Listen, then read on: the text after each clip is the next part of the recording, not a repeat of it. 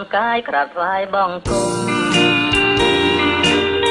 តែម្ដាយភិរមអើពុកខ្ញុំណាតាំងពីខ្លួនកូនបែកពីគ្រួសារកូនតែនទុកខារលឹកអាឡ័យឥឡូវគឺពេលវិសមង្ការកូនត្រេកត្រអាលបានជួបលោកថ្លៃ កូនរៀបចំចេញចាវិទ្យាល័យអរអ្នកម្ដាយថ្លៃទាំងស្រទឹកនេត្រាម្ដាយអើយអ្នកម្ដាយកូនស្ដាយពុំបាននៅជួបជុំយូរយាអោម្ដាយកុំព្រាកូនសូមលាទៅតវិញជាទៀតហើយអរអ្នក ម្ដាយថ្លៃសូមម្ដាយកុំយំសូមម្ដាយជារំនៅបានសុខសប្បាយជិនដល់ថ្ងៃកូនបាយម្ដាយទៀតហើយដើម្បីបំពេញ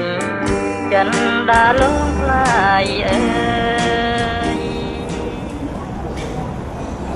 លោកលោកស្រីអ្នកនាងកញ្ញាព្រមទាំងសិស្សនិស្សិតទាំងអស់សម្រាប់ការអញ្ជើញចូលរួមសិក្ខាសាលាស្ដីអំពី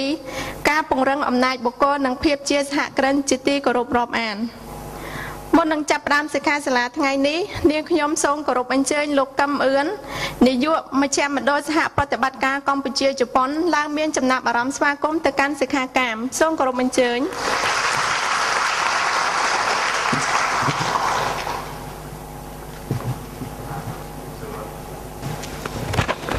បាទសូមជម្រាបសួរឯកឧត្តមអស់លោកលោកស្រីទាំងអស់ជាពិសេសវគ្គមិនកិត្តិយសពីររូបបាទហើយនឹងសហការីពីររូបរបស់ខ្ញុំដែរបាទខ្ញុំអញ្ជើញមកមកបើកហាក់បីដូចជាក្នុងនៃ formal បាទផ្លូវការប៉ុន្តែខ្ញុំសូមនិយាយសាមញ្ញសាមញ្ញបាទព្រោះនៅថ្ងៃនេះគឺយើងប្រើពាក្យសាមញ្ញសាមញ្ញដើម្បីងាយស្រួល បាទខ្ញុំមានពេលប្រហែលជា5នាទីទេប្រហែលជាអាចលើសតិចបន្តួចបាទខ្ញុំសូមណែនាំវគ្គមិនកិត្តិយសទាំងពីរតាមរយៈរឿងមួយបាទយើងទាំងអស់គ្នាប្រហែលជាមិនបានគិតថាខ្លួនឯងកំពុងតែមានឡានដ៏ថ្មីស្រឡាងមួយ អត់ដឹងម៉ាកអីទេបាទដាក់ម៉ាកខ្លួនឯងរងរវែក៏បាន Lexus Honda ក៏បានប៉ុន្តែយើងហាក់បីដូចជាមនុស្សដែលនៅទីឆ្ងាយដែលមិនដែលឃើញឡាន បានឡានហើយមិនដឹងធ្វើយ៉ាងម៉េចបាទមានបងប្អូនយើងខ្លះយកឡានថ្មីហ្នឹងគ្រាន់តែគេងនៅខាងក្រោមឡានដើម្បីជ្រកភ្លៀងឬក៏ជ្រកកម្ដៅថ្ងៃ បាទមានបងប្អូនយើងខ្លះយកឡានថ្មីហ្នឹងគ្រាន់ហាលះបាទនៅលើដបូលឡានហ្នឹង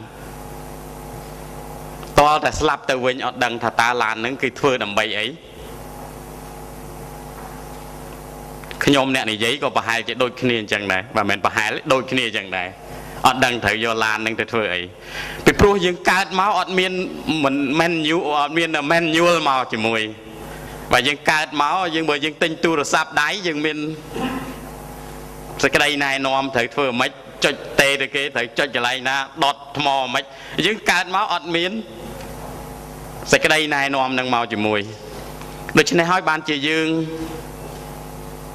ខ្លះបាទដឹកនាំជីវិតយើងអត់ត្រូវឬក៏អាចនិយាយបានថាដឹកនាំជីវិតឈួតឈួតអត់ដឹងធ្វើម៉េចបាទ ឥឡូវយើងមើលឧទាហរណ៍ដែលខ្ញុំបានខ្ញុំក៏ជាកូនសិស្សរបស់លោកគ្រូខឹមសុកហេងដែរហើយនឹងបងអំសេងបរាដែរបាទប្រៃប្រពន្ធដឹកម៉ូតូគ្នាទៅណាទៅណីឆ្លោះគ្នាតាមផ្លូវប្រពន្ធចុះមករត់ចូលឡានឡានកិនស្លាប់យើងឃើញជីវិតសួរថាយើងដឹងថាជីវិតយើងមានតម្លៃប៉ុណ្ណាហើយត្រូវដើរទៅណាក៏អត់ដឹង បាទហ្នឹងដូចខ្ញុំឧទាហរណ៍ខាងលើមិញហ្នឹងគឺថាយើងមានឡានថ្មីមួយប៉ុណ្ណឹងធ្វើម៉េចឥឡូវហ្នឹងគឺថាមានលោកគ្រូ2នាក់បាទដែលគាត់ដឹងពីរបៀបធ្វើម៉េចអញ្ចឹងហើយបានថ្ងៃនេះ CJCC បានមានកិត្តិយសជាខ្លាំងបានអញ្ជើញគាត់មកឲ្យប្រាប់ទៅយើងទាំងអស់គ្នាថាតើយើងត្រូវដឹកនាំជីវិតយើងរបៀបម៉េចបាទយើងឃើញមានអ្នកក្រមែនតែនហើយក៏មានអ្នកមានមែនតែនប្រហែលជាអ្នកមានហ្នឹងគាត់ដឹងពីរបៀប ត្រូវរស់ត្រូវឬក៏យ៉ាងម៉េចបាទយើងគួរតែឆ្ងល់ដែរមកពីប៉ុលពតគឺថាស្មើគ្នាសឹងតែស្មើគ្នាមែនបាទមានអ្នកណាមានមានអ្នកណាក្រមកដល់ថ្ងៃនេះមានភាពខុសគ្នាច្រើនបាទប្រហែលជាយើងអត់ដឹងថាតើទៅយកឡាននឹងទៅធ្វើអីបាទប្រហែលជាគ្រូលោកគ្រូលឹមសុកហេងអឺគឹមសុកហេងគាត់នឹងប្រាប់ពីរបៀប ចូលឡានមុនដំបូងបាទខ្ញុំសូមសួរបងប្អូនថាតើដើម្បីចូលឡានយើងចូលក្បាលទៅមុនឬក៏ចូលជើងទៅមុន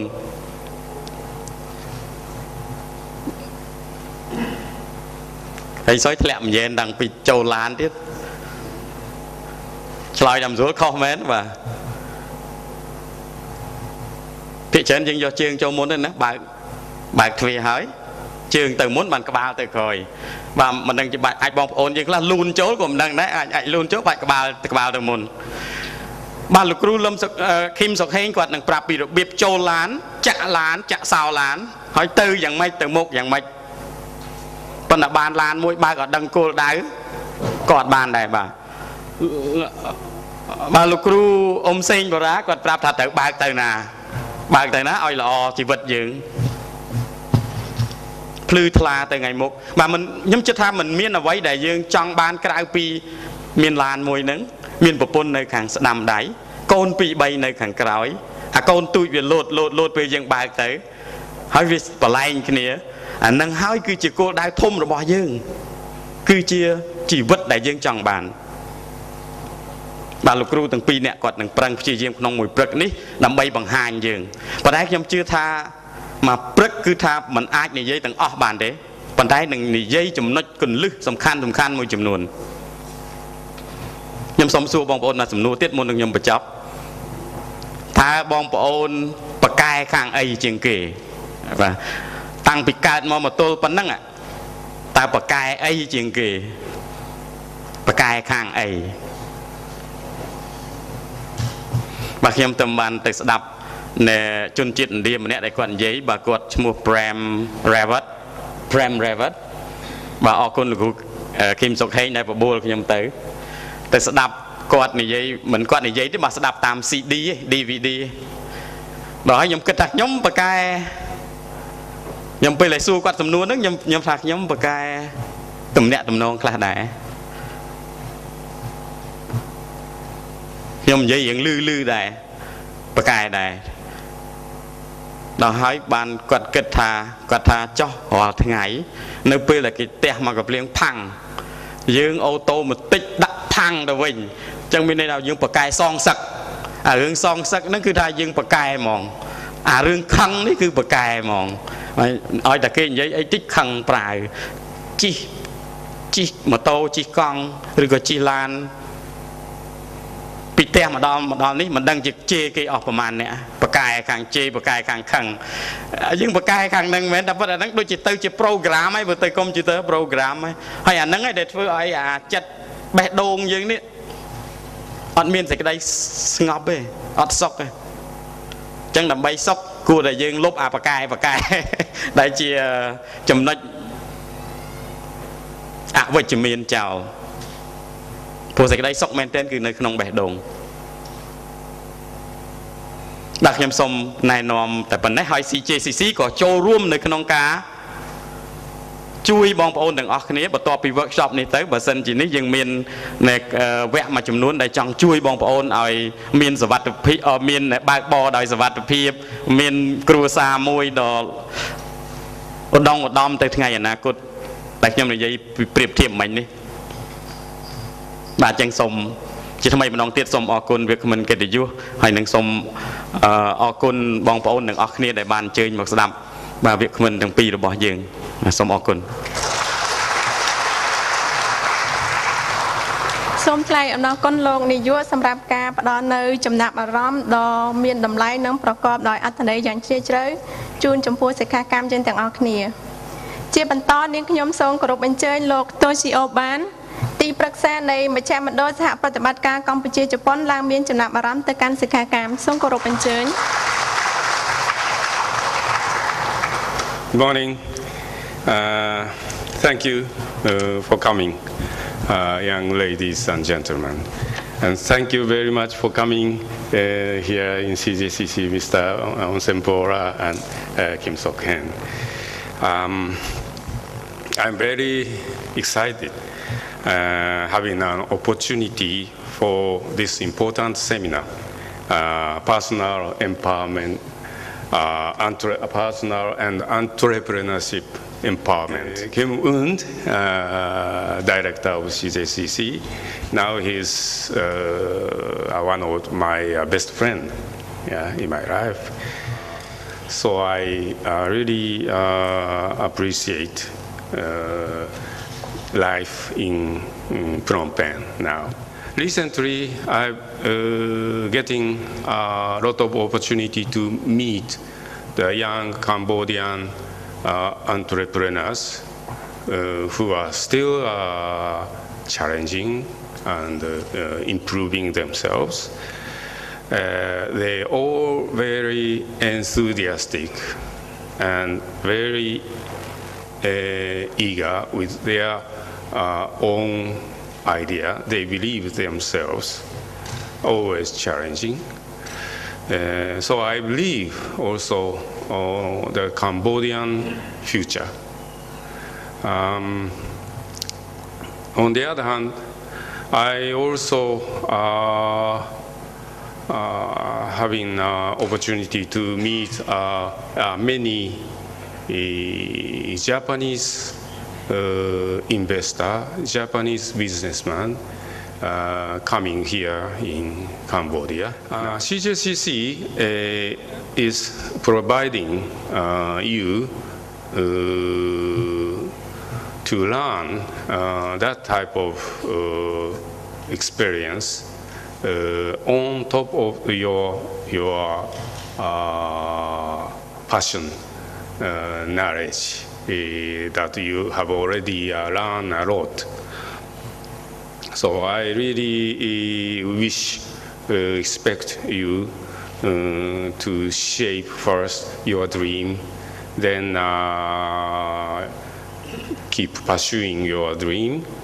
and of course, uh, try to create your own idea and uh, challenging further. Uh, then uh, certainly, I believe uh, your dream will come true. So today, I really ex- expect that you will step forward uh, toward your own dream through learning from uh, two great uh, gentlemen, Mr. Kim Sok Hen and Mr. Onsen Bora. Uh, so, thank you very much. Uh,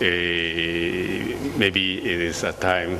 to hear or learn uh, from two gentlemen. Thank you. Okun Churan.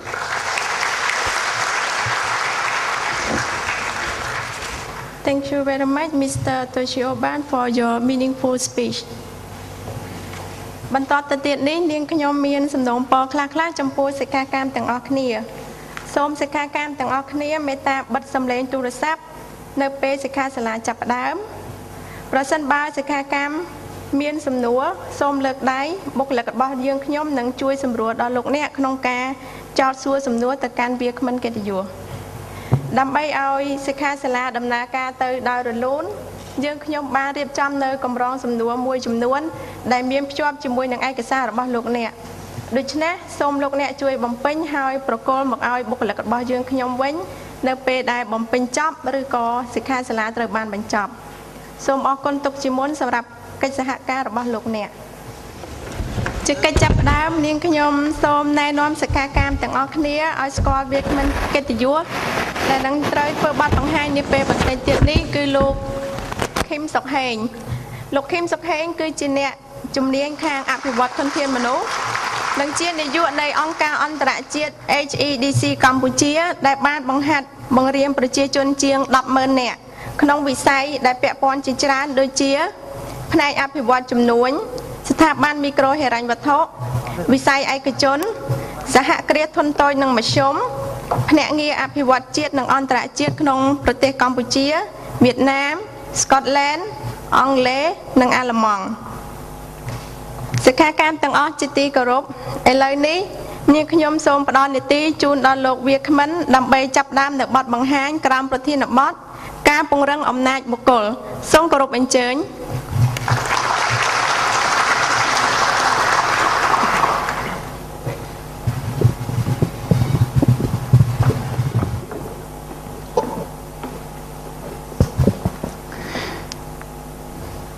ដូចហ៊ានខ្ពស់ជាងបងប្អូនឆ្ងាយណាស់នេះបាទជាបឋមសូមគោរពលោកបានសានជាទីគោរពទីប្រឹក្សារបស់ CJCC ហើយសូមគោរពលោកកឹមអឿននាយកមជ្ឈមណ្ឌលសហប្រតិបត្តិការកម្ពុជាជប៉ុន និងសហការីទាំងអស់ដែលបានរៀបចំនៅកម្មវិធីដ៏ពិសេសនៅថ្ងៃនេះហើយក៏សូមឆ្លៀតឱកាសដ៏មានតម្លៃនេះសូមថ្លែងនៅអំណរគុណក៏ដូចជាការគោរព ជំរាបសួរទៅដល់អស់លោកលោកស្រីបងប្អូនទាំងអស់ដែលមានវត្តមាននៅទីនេះការចូលរួមរបស់បងប្អូនពិតជាផ្ដល់កិត្តិយសសម្រាប់រូបខ្ញុំក៏ដូចជា CJCC ដែលខំយកចិត្តទុកដាក់រៀបចំនៅកម្មវិធីចែករំលែកនៅបទពិសោធន៍ដល់អស់លោកលោកស្រីបងប្អូនទាំងអស់គ្នានៅក្នុងឱកាសនេះមុននឹងខ្ញុំចាប់ដើមខ្ញុំអាចជម្រាបសួរបងប្អូនបានទេមានប្រមាណនេះជាសហគ្រិនរួចទៅហើយសូមលើកដៃ បើជាសហគ្រិនជា owner ជា business owner បាទអរគុណច្រើនមាន5 6នាក់ដែរមានបងប្អូនប្រមាណអ្នកដែលកំពុងតែធ្វើការបាទសូមលើកដៃឡើងបាទធ្វើការនៅអង្គការក៏ដោយក្រុមហ៊ុនក៏ដោយស្ថាប័នណាក៏ដោយបាទអរគុណមានបងប្អូនប្រមាណអ្នកដែលជានិស្សិតបាទនៅជានិស្សិតនៅឡើយបាទសូមសូមលើកដៃអរគុណសូមសួរមួយទៀតមានបងប្អូនប្រមាណអ្នកចង់មានសូមលើកដៃចង់មានណា បាទមានអីមិនទាន់ដឹងទេតែចង់មានសិនបាទអាចមានលុយមានសុភមង្គលគ្រួសារមានចំណងមិត្តភាព good friendship ចំណងមិត្តភាពល្អជាមួយអ្នកតូចជាមួយអ្នកធំជាមួយអ្នកទាបជាមួយអ្នកខ្ពស់បាទអរគុណណាស់វត្តមាននៃការចូលរួមរបស់បងប្អូននៅក្នុងឱកាសនេះខ្ញុំមានជំនឿជឿជាក់ថាបងប្អូននឹងបានជួបនៅអ្វីដែលថ្មី ជួបនៅអ្វីដែលពិសេស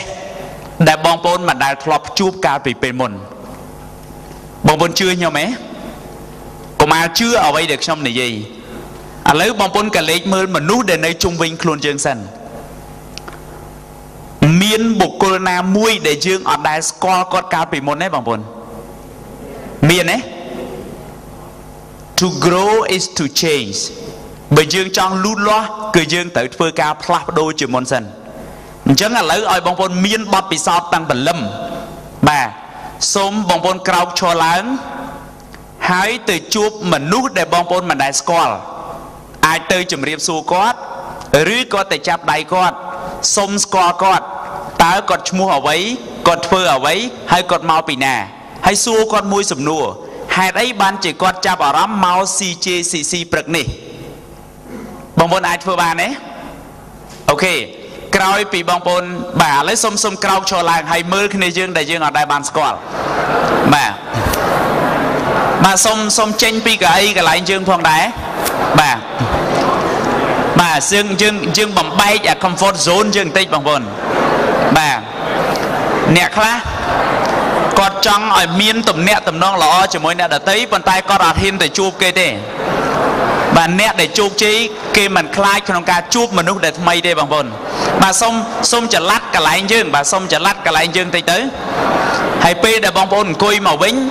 សូមមេត្តាជួយអង្គុយបំពេញនៅកៅអីនៅខាងមុខបាទ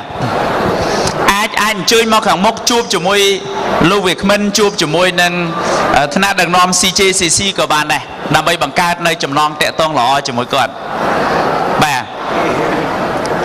បើបងប្អូនយើងទៅជួបបាន2សូមមេត្តាទៅមួយទៀតដើម្បីឲ្យបាន3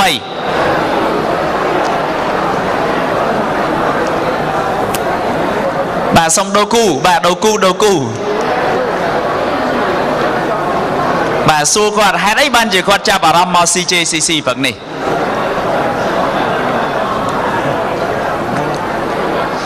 ឥឡូវសូមបងប្អូនសម្រាប់ប៉ុណ្ណឹងហើយអ្នកដែលនៅខាងក្រោយសូមឲ្យថាអញ្ជើញមកបំពេញកៅអីនៅខាងមុខដែលនៅទំនេរបាទបាទឥ ឡូវសូមជម្រាបសួរបងប្អូនមានបងប្អូនប្រហែលអ្នកដែលយើងជួបបានត្រឹម3នាក់សូមលើកដៃបាទជួប3នាក់ okay ប្រហែលអ្នកដែលបងប្អូនជួបបានតែម្នាក់សូមលើកដៃជួបបានតែម្នាក់ឯង okay 2នាក់3នាក់4នាក់5នាក់